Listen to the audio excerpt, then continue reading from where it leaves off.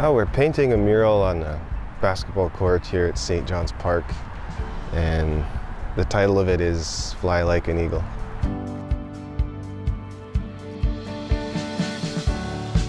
They wanted to do this for the youth and throughout Canada, so this is one of many that they've done already. And they had a submission call, and I submitted for this park, and I got it. So it's been awesome to be chosen. It's an honor to be around this neighborhood. I would love to have had this happen when I was younger.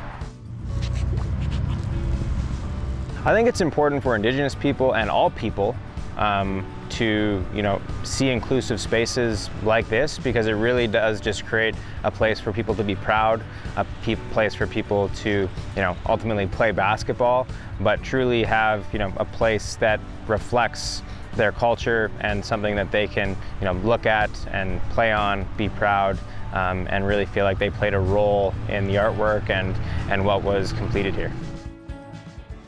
You know, we all deserve something cool like this, something to commemorate who we are and where we come from, who our city is.